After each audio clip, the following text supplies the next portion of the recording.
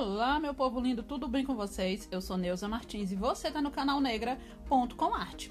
Minha gente, hoje eu vou reutilizar com vocês dois potes, um de margarina e um de sorvete, que eu tava querendo muito fazer aqui um suportezinho para as minhas makes, e aí resolvi reutilizar esses dois. Nesse caso aqui, o que, que eu fiz? Eu, eu marquei o tamanho da régua na, no limite ali do pote de margarina, tá vendo? No limite que é desse, desse, desse relevo.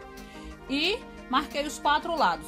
E na, nas duas laterais eu fiz a marquei também e marquei em cima e fiz a alcinha, uma alcinha, tá vendo? Eu, eu fiz os pontinhos nas laterais dele, dois pontinhos embaixo, dois em cima, liguei os dois e ó, para fazer a alcinha. Cortei, como a minha tesoura era pequenininha, ficou bastante rebarba, então eu usei uma lixa de unha para poder lixar isso aí e tirar essa rebarba, porque esse plástico ele corta a gente, se você pegar de mau jeito, ele corta.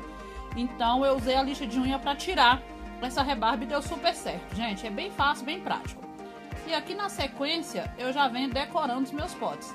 O que, que eu fiz aqui? Eu colei pérolas, meias pérolas dessas pérolas que eu tenho, que elas são bem grandes, eu não sei o número, mas elas são bem grandes para poder fazer os pezinhos das minhas vasilhinhas. Olha como ficou charmoso, gente. Essa pérola é muito bonita. Colei aqui as quatro pérolas, quatro pezinhos. E aí na sequência eu vou usar uma fita que é meia transparente, meio de cetim com fio dourado. Ela é bem linda, você encontra ela lá no Armarinho dos Medeiros. Tanto ela quanto as pérolas. E mais um monte de coisa linda você encontra no Armarinho dos Medeiros, viu? E aí, o que que acontece? Coloquei aqui em cima e passei uma fita no meio do pote também, porque ficou um verdadeiro charme. Gente, eu amei o resultado final desses DIYs. Amei, eu espero que vocês também gostem, viu? E aí, agora na sequência a gente vai para o pote sorvete, né? Ó, passei a fita no meio dos dois, colei a pérola também nos potes de sorvete do mesmo jeito. E aí, gente, eu fiz esse lacinho Gente, esse lacinho, eu não, não tenho um, padrão, não. Eu fui enrolando a fita na mão, colei e abri ele. Só isso. E colei a pérola, a meia pérola em cima para poder dar esse acabamento bonitinho.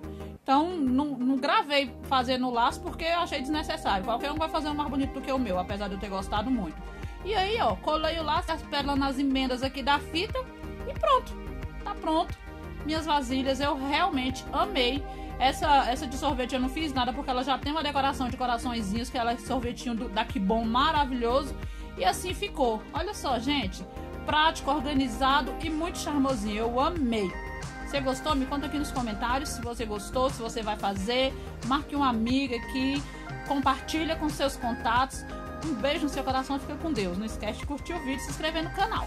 Fui!